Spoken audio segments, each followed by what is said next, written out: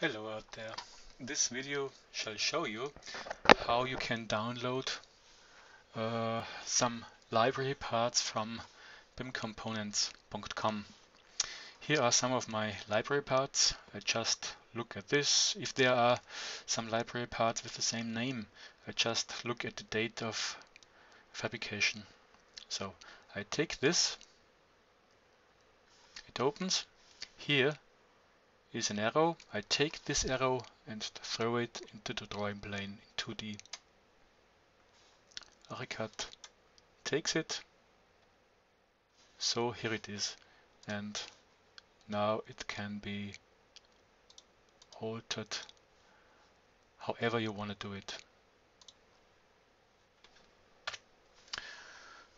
Okay, that's one way.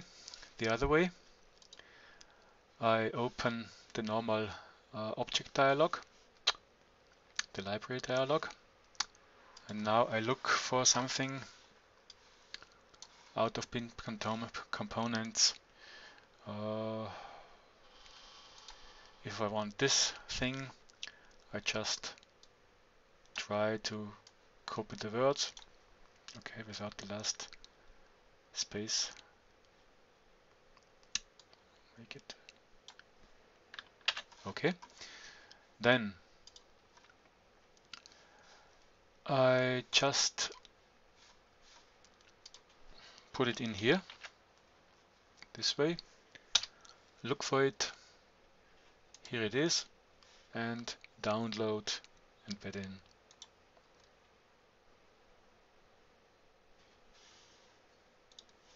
Okay